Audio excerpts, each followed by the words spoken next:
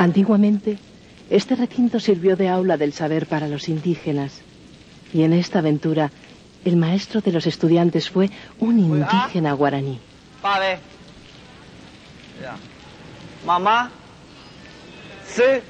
Como en épocas jesuíticas, los jóvenes se constituyeron en talleres para entregarse al estudio del mundo guaraní, cobijados en la misión de San Cosme y San Damián.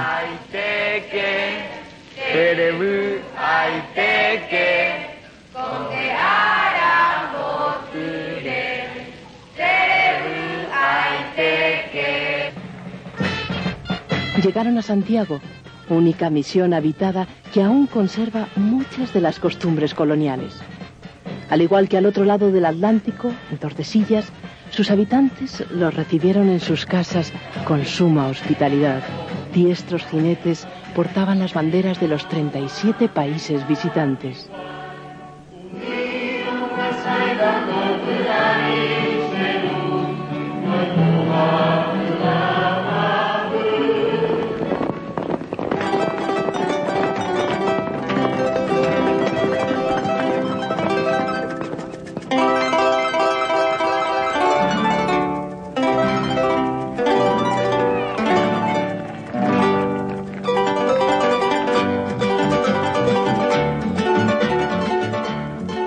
Los aventureros observaron cómo se doma un caballo. Sintieron admiración ante la habilidad de los diestros jinetes de Santiago.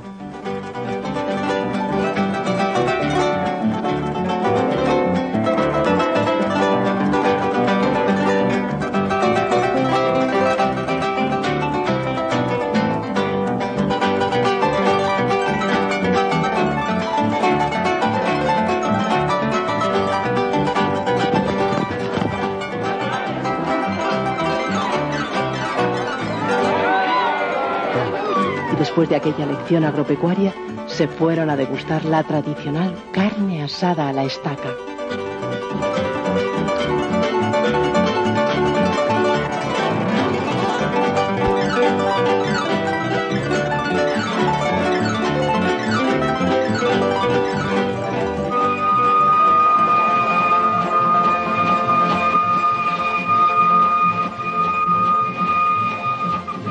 En Coronel Bogado continuaron el recorrido a bordo del tren a vapor más antiguo de Sudamérica.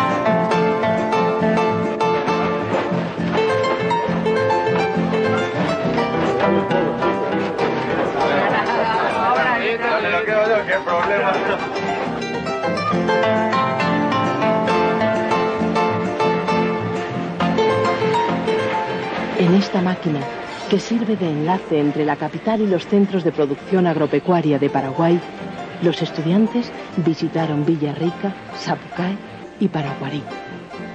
Estamos en el Museo de Zapucay. Nuestro tren, nuestro nostálgico tren, ha parado aquí. Los expedicionarios están viendo una cosa única en el mundo.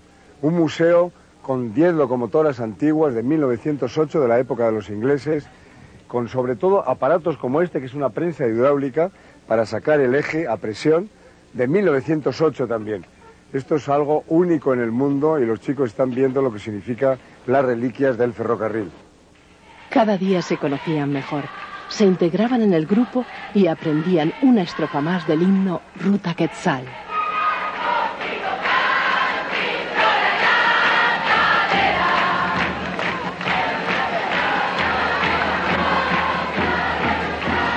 El viaje por tren finalizó en Asunción. Desde aquí se dispusieron a navegar por el río Paraguay. El viaje de estudios en el río comprendió las escalas en Concepción, Puerto Casado, Puerto Vallemí, Puerto Olimpo Bahía Negra y Corumbá. En el capítulo 44, Cabeza de Vaca cuenta de cómo el gobernador llevó a la entrada 400 hombres y cómo fueron al descubrimiento con 10 bergantines, municiones, bastimentos, arcabuceros, ballesteros y cómo embarcaron también a todos los indígenas guaraníes mil canoas subiendo el río Paraguay. Recordamos esta historia con catedráticos universitarios paraguayos y con nuestros jóvenes en clases de etnobotánica, de historia, de medio ambiente, teniendo a un lado el Chaco y a otro lado la selva tropical paraguaya. Remontamos por el río Paraguay casi 2.000 kilómetros. Thank you.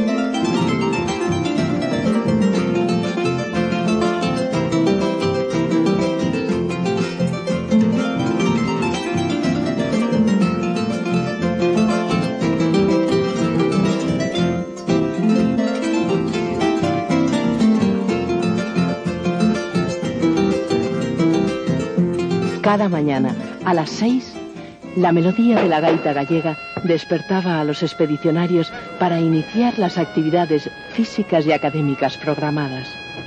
Se cree, es una de las hipótesis que manejan los antropólogos, que la antropofagia es una respuesta de los grupos, de esta clase de grupos neolíticos que ya aprendieron la agricultura. Cada cierto tiempo los chamanes guaraní enardecían a su pueblo y entonces ponía en movimiento toda la parcialidad, hombres, mujeres, niños, llevando todas sus cosas, buscando que el paraíso, el paraíso de la tierra, no en otra parte, el paraíso donde las flechas volaban solas, donde las frutas caían en las manos de los recolectores y que estos tuvieran necesidad de hacer ningún esfuerzo.